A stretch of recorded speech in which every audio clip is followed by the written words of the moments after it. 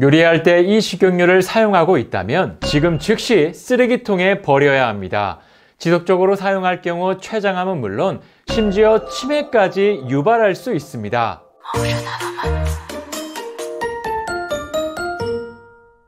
여러분 안녕하세요. 건강뉴스입니다. 콩기름이 대표적인 식용유였던 과거와는 달리 최근에는 다양한 재료로 만든 식용유들이 대거 등장했습니다. 특히 한국 식단의 경우 볶음이나 부침, 튀김 요리가 많아서 건강한 오일에 대한 관심이 높은 편인데요. 그 종류만 해도 무려 10가지가 넘어서 어떤 제품을 선택해야 할지 어려움을 겪는 것도 사실입니다. 그런데 충격적에도 이처럼 다양한 식용유 가운데 우리의 건강을 해치는 최악의 기름이 있습니다. 전문가들은 이 기름을 지속적으로 섭취할 경우 췌장암은 물론 심지어 치매까지 유발할 수 있다고 경고하는데요. 게다가 이 기름만 사용하지 않아도 가족의 건강을 챙길 수 있다고 말합니다. 과연 그 식용유가 무엇일까요? 그 식용유를 소개하기 전에 이 기름의 문제점을 알 필요가 있는데요. 첫 번째는 이 기름은 산패가 잘 된다는 겁니다. 산패란 기름을 공기에 오랫동안 노출시키면 변질되는 것을 말하는데요. 그런데 이 산패가 정말 무서운 건 산패가 되면서 기름이 독성 물질로 변한다는 겁니다.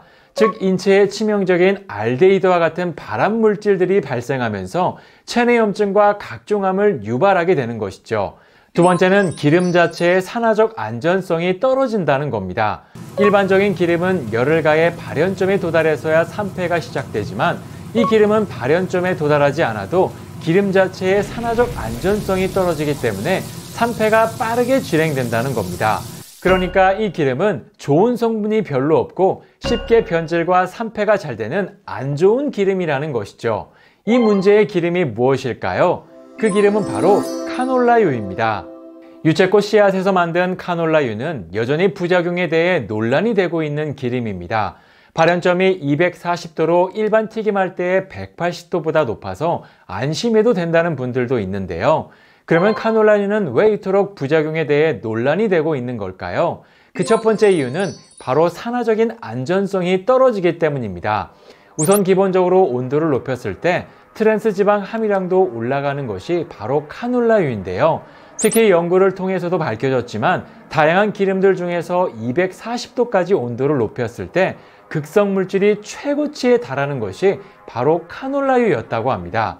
즉 발연점은 높지만 금방 산패되는 단점이 있다는 것이죠. 두 번째는 카놀라유의 대부분이 GMO라는 겁니다. 카놀라유의 80% 이상이 바로 캐나다에서 만들어지는데요. 대부분이 바로 GMO라고 합니다. 그러니까 GMO, 유전자 변형 식품이라는 것이죠. GMO에 대한 안전성에 대해선 여전히 전문가들마다 의견이 분분합니다. 하지만 분명한 건 GMO가 발암원으로 작용하고 있고 호르몬의 교란을 일으킨다는 것은 명백한 사실입니다. 그래서 카놀라유는 GMO와 트랜스 지방 그리고 산패가 쉽게 되기 때문에 만약 사용하고 있다면 즉시 쓰레기통으로 직행하는 게 좋습니다. 그러면 일반적으로 사용하는 다른 기름들은 어떨까요? 대표적으로 많이 사용하는 콩기름, 과연 어떨까요? 콩기름의 90% 이상은 바로 GMO입니다. 유전자 변형 식품이라는 것이죠. 그래서 콩기름은 무조건 피하는 게 좋습니다.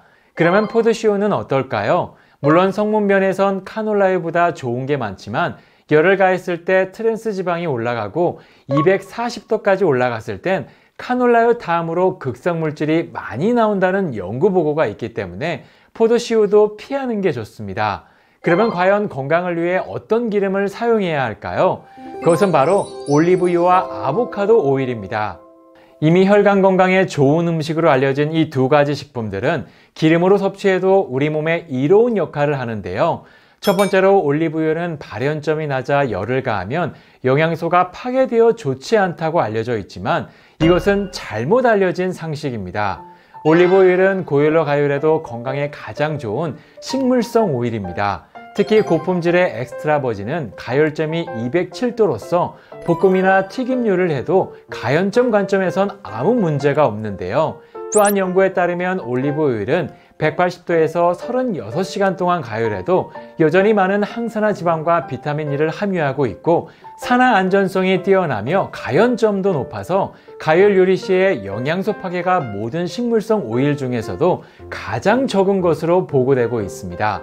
중요한 건 고품질의 엑스트라 버진에 해당하는 내용인데요.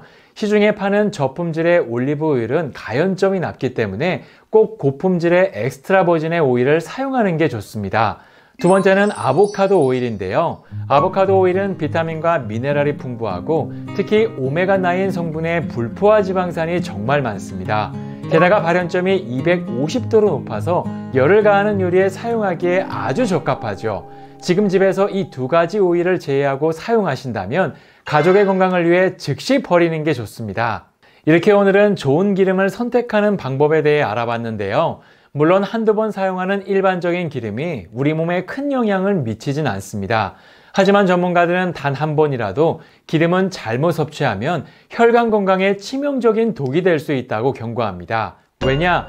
기름은 한 번의 섭취로도 혈관벽에 달라붙기 때문이죠. 가족의 건강을 위해 오늘부터 점검해 보시고요.